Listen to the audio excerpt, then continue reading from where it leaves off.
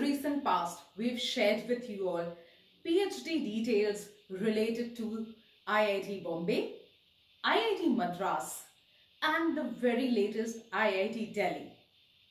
In this video, I, Dr. Ritika Gauba, your one and only PhD mentor, advisor and trainer is going to share with you the details of yet another prestigious Indian Institute of Technology, which is IIT Kanpur.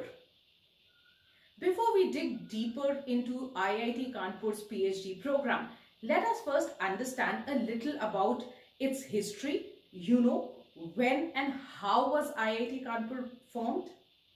So IIT Kanpur was established in the year 1959 and the speciality of its creation was the fact that it was created by a consortium of nine American universities under the Kanpur Indo-American Pact. Not only this, IIT Kanpur was also one of the or actually the first institute to introduce the Department of Computer Science in India. Currently, IIT Kanpur, as per the last data updated on the IIT, IIT Kanpur website, has close to 6,500 students studying across various undergraduate, postgraduate programs. These 6,500 students are taught by close to 413 faculties. Today, in this video, we are going to discuss all about the PhD program of this prestigious institute. You know, what are the subjects in which IIT offers a PhD? What is its eligibility criteria? Do you require an eligibility exam? Does it offer a post part-time PhD or a full-time PhD? And so on and so forth. So now that we have some good understanding about the history or the background of this prestigious institute, let us move on to understand some facts related to the research program of IIT Kanpur. Let us start with the number of research scholars they have. So as per the statistics last updated by IIT Kanpur, they have close to 1500 research scholars. These 1500 research scholars are guided by the 413 faculties. And each of these faculties have a research funding of about 1.9 million. Okay, from here we move on to the most important question. In which subjects does IIT Kanpur offer you a PhD? So yes, being an IIT, IIT Kanpur also offers you a PhD in all domains related to engineering.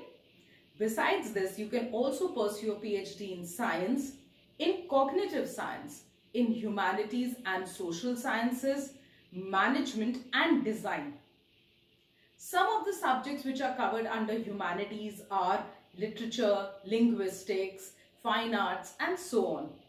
Some other subjects which are covered under cognitive sciences and social sciences include sociology, anthropology, psychology, maths, physics, chemistry, statistics, biosciences and so on.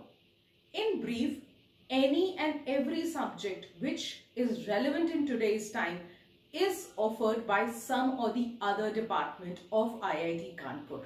Remember, each of these departments, they might look like they are just five or six of them, but within each department, there are multiple sub-departments and within each subject, there are multiple research areas. From here, we move on to discuss what are the eligibility requirements to pursue a PhD from IIT Kanpur or what qualifications do you require? So IIT Kanpur would let you pursue a PhD from their institute if you have a master's degree or if you have a four-year graduation degree. However, when we compare the requirements to the other IITs, you would find that IIT Kanpur is a bit more strict or has more stringent norms.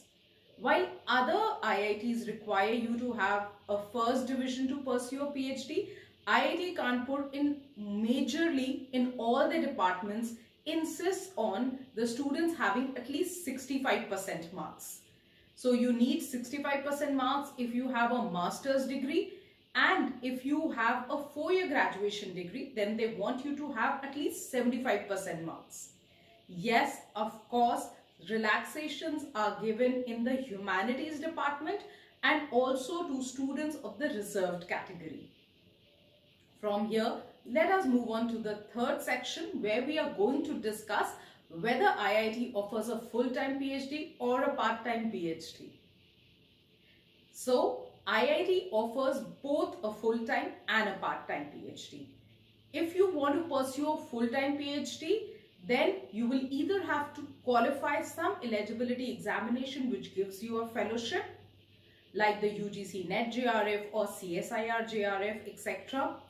Otherwise, you can also apply and you might be selected for an institutional fellowship in which case IIT would be giving you a fellowship to pursue a full-time PhD. In case of IIT Kanpur, there is a third option as well where you can pursue a full-time PhD without any kind of fellowship. As far as the working professionals are concerned, for them IIT has the option of pursuing a part-time PhD. So the working professional while working can simultaneously pursue a PhD from this prestigious institution. From here we move on to discussing the eligibility examination requirement. So if you are a working professional looking to pursue a part-time PhD, if you are a student who doesn't want a fellowship or if you are a student who has had great academic achievement so far, then in all these cases there is a high probability that you would be exempted from an requirement of an eligibility exam. If however you are looking for a fellowship then you would be required to qualify some kind of eligibility examination. Which eligibility exam to qualify depends completely in the subject area of which you are applying. Also, since the requirement of having or not having an eligibility exam and which eligibility exam you should appear for completely depends on the domain and the subject you are applying to, I would request you to please have a close look before taking any decision in this regard. From here we move on to the discussing what is the admission process of IIT Kanpur. So IIT Kanpur opens its admission usually twice a year. Once in October, November for the January session and once in March, April for the July session. And yes, for the July 2023 sessions, the admission are currently open. The last date to apply into this prestigious institute for the July 2023 session is 11th of April 2023 for the full-time students and for the people who are trying to apply for the part-time PhD program of this institute, the last date is in May 2023.